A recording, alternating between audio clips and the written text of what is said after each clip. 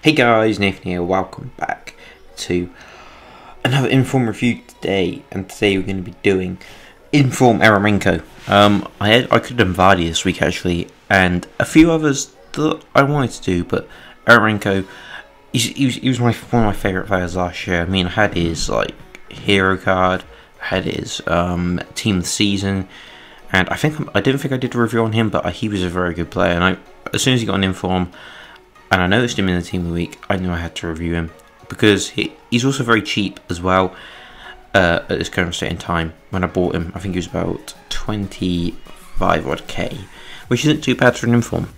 And also, you can build a pretty interesting team around him, uh, mainly with CSKA players.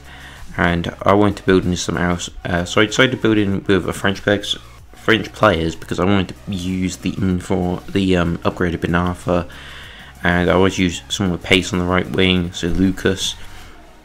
But little spoiler, this is probably the last time I'll use the 4 um, 3 3 false 9 because I'm I find it difficult to play with because it's not very attacking formation really, it's more about patient build up and I can't I struggle to pass um, convincingly. I try and get up the pitch, you know, move fast, but when you give the ball away, it seems to you seem to concede a lot of goals with it. So yeah, that's that's the French part of the team done, and we're moving on to the CSK part. It's kind of obvious who we're going to put in because there aren't really that many great players from CSK, and the great ones are the obvious ones we're going to include. We have used some 75 rated left back, but he has okay stats, so we should. He was and he was alright in game actually. Uh, made he was he wasn't like a weak link. He was more um, just a filler, you know, who did his job adequately. But the first goal we get is actually um, with Musa, but it was a nice move and it was sort of worked around the box very nicely. But in the second goal here, a, a nicely weighted lob through ball, and Eremenko thrashes it across the goal. And I can tell you, this man can shoot.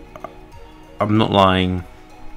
There's no, uh, there's no absolute exaggeration on that. He he was a very, very, very, very good shooter of the ball. And Actually, there he scores again with a bit of lag, but he, he he had a bit on and off dribbling. It, it sometimes worked when you when you do the hold the two bumpers.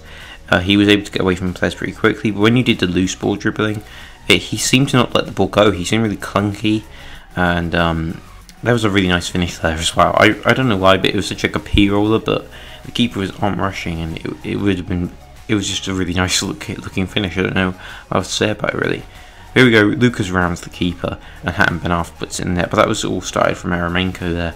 When you play up to him, and you get the runners going, um, he he does have a good passing. That's why that's why um, I use cams at false nine because they have great passing, great shooting, and okay pace. Usually know, he scores with the outside of the foot. I want to put that one in because it was nice outside of the foot shot. And Nakato here displays an, um, I think he does now.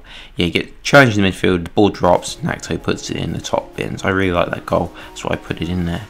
And here again, I think Eremenko may score again here. You work out wide, and we're just doing a bit of nice work with Lucas. This is how um, really, really you got to use the false nine just to weasel your way in the box. Basically, I mean, it's it's kind of difficult to use uh, if you're trying to rush, but once you, if you have patient build-up play, then it's, it's suited for you. That's how it works for most people. Anyway, back to what I was saying. I really think Eremenko would be good um, just as a cam behind two strikers. Because in the 4-3-1-2, uh, where you have to play it up to him, and there's quite a gap between the midfield and the cam, uh, you could you could really get some runs going, probably pop off a few long shots with him, play good through balls, and um, really, really get the most out of him. I feel that the if you move back to centre mid and try and play him there, that, that wouldn't really work as well. But he is just a brilliant card, and he puts the penalty in the top bins. A really, really, really unlucky penalty to concede for the guy because we ran across the edge of the box and we dipped in for a bit, and that was where he committed the foul. So yeah. Um, this is the summary, I guess. His top stats are 91, 94 stamina, 91 volleys, 90 vision, 88 short passing, 87 long shots. Um, yeah, his long shots definitely proved that curling effort you may have saw. I didn't really comment on it, but yeah, really nice curling effort he scored. His vision, his vision, sorry, is is very good as well. Um, as I said, he feels clunky, but the four star skills and four star root is definitely more useful for someone who is a skiller. Anyway, that's it for the video, guys. I'll see you all for next video soon.